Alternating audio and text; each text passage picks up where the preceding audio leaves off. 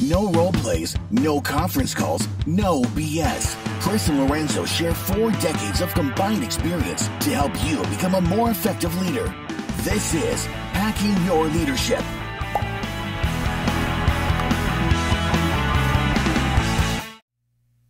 Welcome to Hacking Your Leadership. I'm Chris. And I'm Lorenzo. And welcome to this week's Thoughtful Thursday. Don't forget to follow us on YouTube at Hacking Your Leadership and leave us a review on whatever podcast platform you're listening to.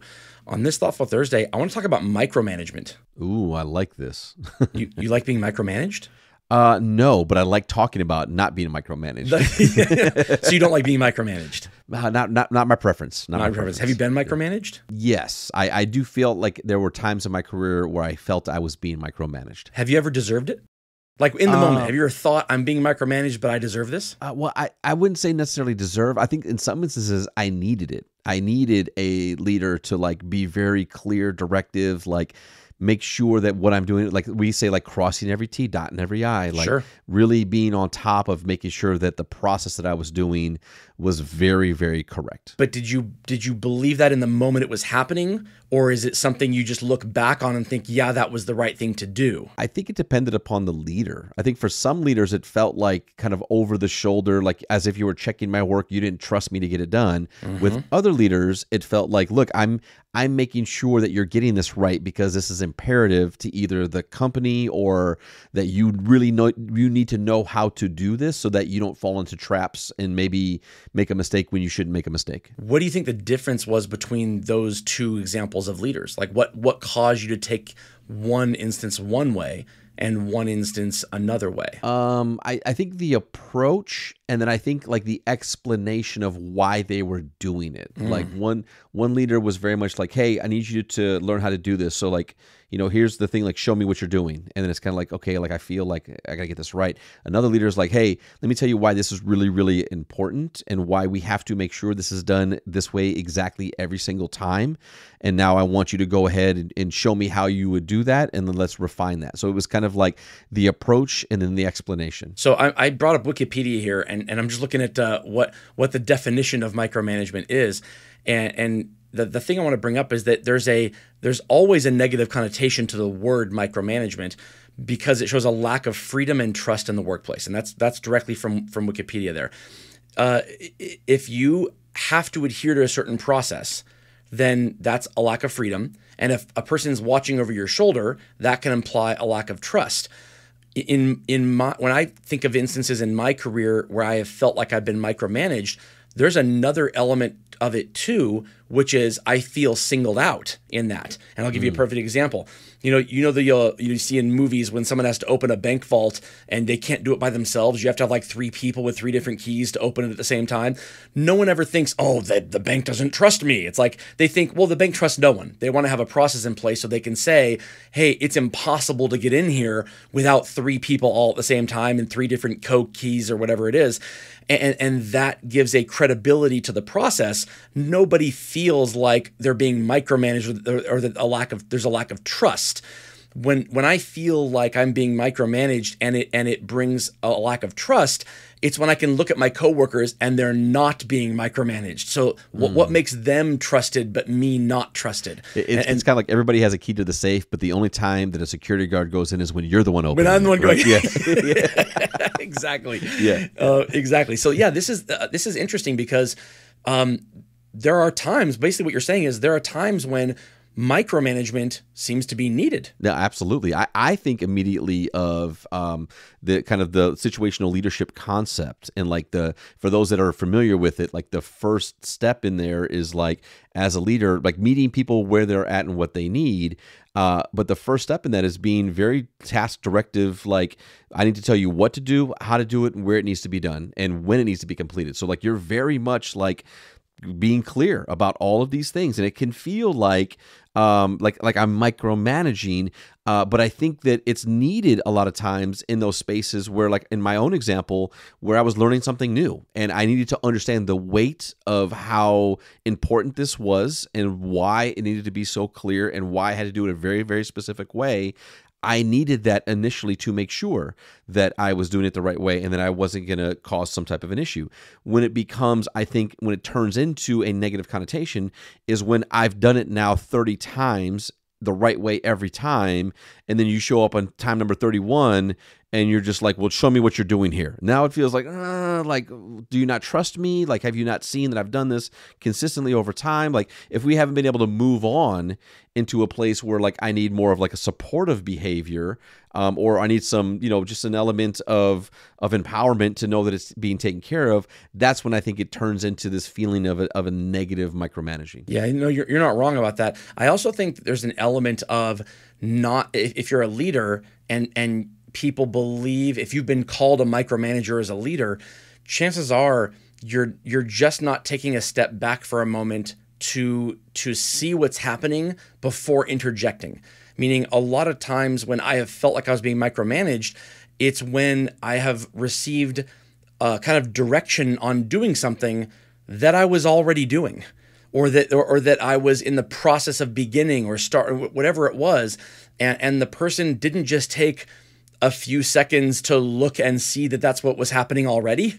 They just said it almost like it was their job to say something regardless of the situation and i think that can lead to a, a feeling of, of, of micromanaging because it's like you, you know if you if you felt like you had to tell me this that means you feel like i wouldn't have done it on my own anyway which if i wasn't doing it on my own and i have a history of not doing it on my own maybe maybe i need that right but if i'm actually doing it in the moment and and I don't have a history of not doing it when I'm supposed to be doing it, then why would you need to say it to begin with? If you, if you're saying it because you need to kind of feel like you are contributing to this process as the leader and your way of contributing is to make sure that people are doing what they're supposed to be doing.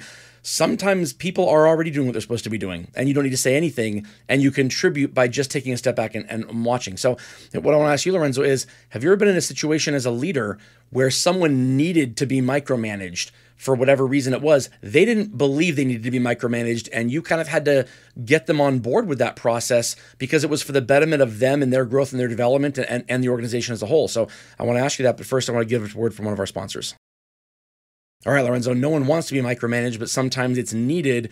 Have you ever had a time when you had to micromanage somebody and make them aware that that this was not a bad thing that they they, they kind of this was part of the job because of the situation kind of called for it. I tend my, my brain immediately goes to the spaces around things like conversations around like performance management where like you have a leader responsible for people or a team and they have to have a conversation about somebody who may be not meeting whatever the expectations are. Sure. And what ends up happening sometimes is you know again if, if it's a new leader my hope is that we've built a system that allows them to have a mentor or somebody to work with them to make sure that they are comfortable uh, as much as possible in these spaces because they're going to have to learn through experience. Um, where I find it is that if there's uh, a space where maybe a leader's responsible for it, it's not going the way that it should be going. Maybe there's a lack of clarity. Maybe there's uh, maybe there's um, some feelings because uh, you know it, it wasn't approached the right way where then i have to sit down with the leader and say okay like we're going to work through how do you have this conversation with someone? And how do you again the intent is that somebody can walk away with clarity. They can walk away with an understanding of the work they need to do. They can feel um, you know uh, inspired or empowered to make sure that they know that they can go in and improve whatever they want to improve upon. And so um, there's a couple things going to happen here. I'm going to ask you to treat me like the employee and walk me through how you'd have that conversation uh, but then I also I'm going to sit in. I'm going to sit in and hear the dialogue. But I'm not going to just show up and say, okay, I want to sit in the next time you talk to this employee and then just do what you're going to do because I feel that it's not right of us to continue maybe a a, a, bad behavior or a lack of expectation on how that conversation should be. So we're going to practice here, and I'm going to hear, and then we're going to you know, go back and forth, and I'm going to provide you with some notes, and we're going to practice again, um, and then I'm going to sit in. So again, like that's where you can feel like okay.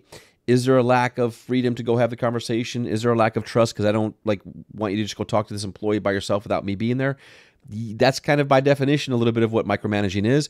But I think, again, in my experience, when you explain it, when you talk about it, when you're aware of it, and you're and you're sharing why it's needed in this moment, um, that's where I tend to find myself kind of doing more micromanaging is is in those spaces where leaders are either struggling with how to have these conversations or in instances where leaders maybe have never had these experiences or conversations where then I have to step into that you know um, that situational leadership place of being very directive clear, having them practice, having them go over and over and over again. Right, because at the end of the day, you have a responsibility to that employee who is being performance managed to to get them the performance management that will a help them get better or b make sure that all of your ducks are in a row if it if it if it's time to move to the next step and and you can't move to the next step unless all of the previous steps were done correctly. So you know the that that obligation um, sometimes supersedes an ability to just say yeah uh, guy trusts you to go get done. Let, let, let chips fall where they may.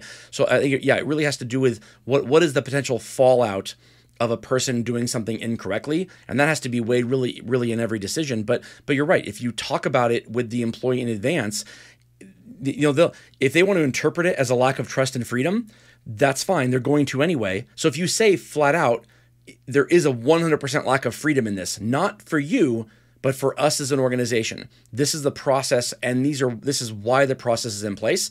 There is no la- there is no freedom in this process and that goes for me too. If I have to performance manage someone, I don't have freedom to do it the, the way that I want to do it. It has to be done in a certain way to make sure that we're we're adhering by the rules of the organization, and so that when when a person is managed uh, on their performance, that they don't feel singled out. That, that that it's done in a way that is uniform to all employees.